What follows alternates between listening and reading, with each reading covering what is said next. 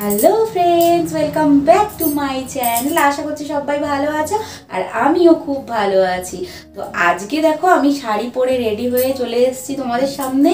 তো আজকে হচ্ছে করব হেয়ার কম্বিক ব্লগ। তো এখন হচ্ছে বাজে বিকাল সাড়ে চারটা মতো, তো দুপুরে খাওয়া দাওয়া কমপ্লিট হয়ে গেছে। তারপরে একটু রেস্ট করে নিয়েছি, তো তারপরে রেডি হয়ে নিলাম। আর ভাবলাম চুলটা আঁচড়াতে হবে, বিকালবেলা তো চুল বাঁধতেই হয় এই সময়।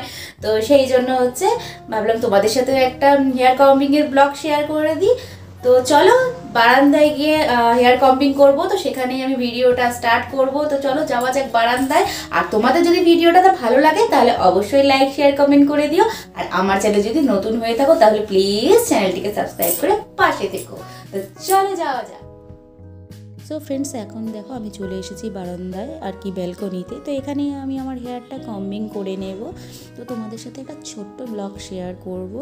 আশা করছি ভিডিওটা ভালো লাগবে। তো প্লিজ কেউ স্কিপ করে দেখো না। আর যদি ভালো লাগে, তাহলে একটা লাইক করে দিও।